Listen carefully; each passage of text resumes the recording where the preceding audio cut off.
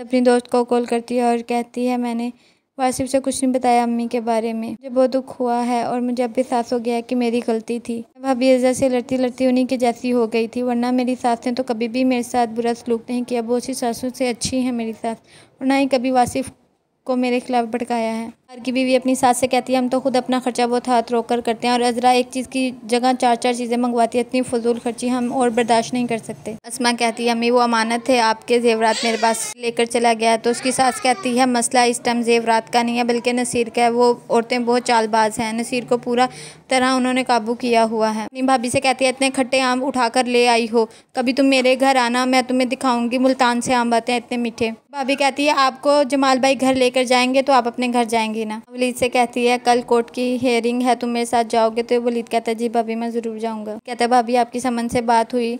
तो उसकी भाभी कहती है हाँ वलीद उसका रिश्ता तय कर दिया है उसके अबू ने अपने दोस्त के बेटे से। वो तुम्हारा सामना नहीं करना चाहती तो तुम भी उसे मजबूर मत करो। कार की बीवी उससे कहती है कि, आप और अम्मी जाएँ और जमाल भाई से माफ़ी तलाफ़ी करें और अजरा को उसके घर भेजें।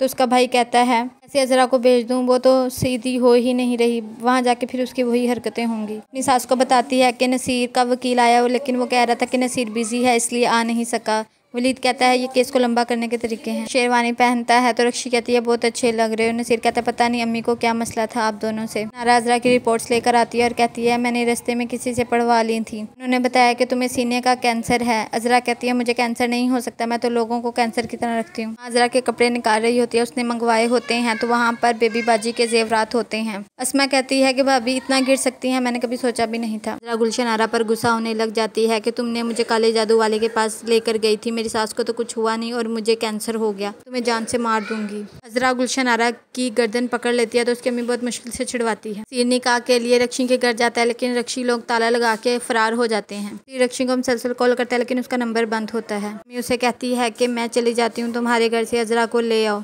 जमाल कहते मैं उस औरत को नहीं लाऊँगा। अगर आप दोनों ने जाना है तो चले जाए, मेरे बच्चों को बेआसरा छोड़कर डीलर नसीर को कहता है, वो बहुत लफटर औरतें हैं। उसका पहला शोहर मेरे पास आया था।